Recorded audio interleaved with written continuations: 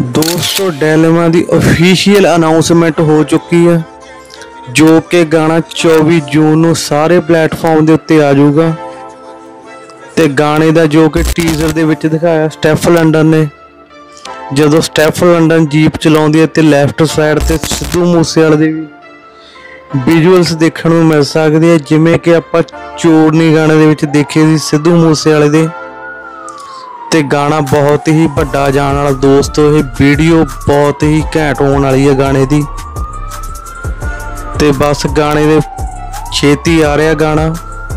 Steff London ਨੇ ਕੱਲ ਇੱਕ ਸ਼ੂਟ ਰੱਖਿਆ ਸੀ ਯੂਕੇ ਦੇ ਵਿੱਚ। ਥੋੜੇ ਜਿਹੇ ਹੋਰ ਸਿੰਕ ਕ੍ਰੀਏਟ ਕੀਤੇ ਆ। ਸਟੈਫ ਲੰਡਨ ਨੇ। ਗਾਣੇ ਦੇ ਵਿੱਚ ਆਪਾਂ ਨੂੰ ਜ਼ਰੂਰ ਦੇਖਣ ਨੂੰ ਮਿਲਣਗੇ ਉਹ। ਹੋਰ ਜਦੋਂ ਕੋਈ ਨਾ ਕੋਈ ਆਪਾਂ ਨੂੰ ਵੱਡੀ ਅਪਡੇਟ ਮਿਲਦੀ ਹੈ, ਤੁਹਾਡੇ ਨਾਲ ਜ਼ਰੂਰ ਸ਼ੇਅਰ ਕਰਾਂਗੇ। ਉਦੋਂ ਤੱਕ ਆਪਣਾ ਕਰ ਲਓ ਚੈਨਲ ਸਬਸਕ੍ਰਾਈਬ ਧੰਨਵਾਦ।